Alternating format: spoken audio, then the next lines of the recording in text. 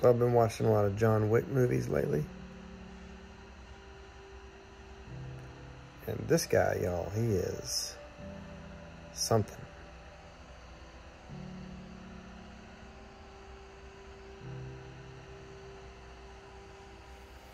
He doesn't put up with much.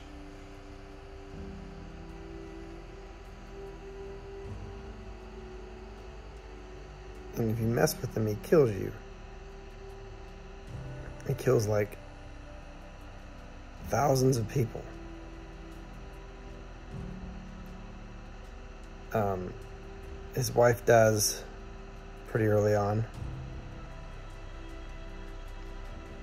in the first one, and she's given him a dog to be delivered to him by mail after she dies with a note from her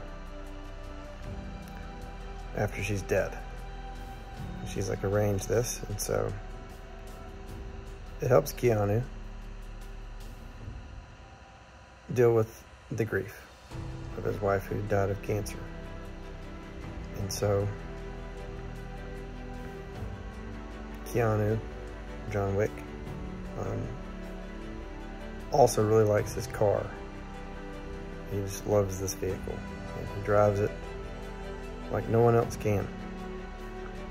Um, and then these Russians, but they're like American, but the Russians see him at a gas station and they see his car and the guy kind of likes it and asks about what year it is and And John Wick tells him, he corrects him on the year. I forget which year it is at the moment, and I'm not gonna get that wrong. And anyways, one of the other Russian guys says, hey, leave this guy alone, because the one the, the Russian who was asking about the year and confirming the year of the vehicle, well, said how much to buy it. And, you know, John Wick's like, it's not for sale. You um, know. So anyway,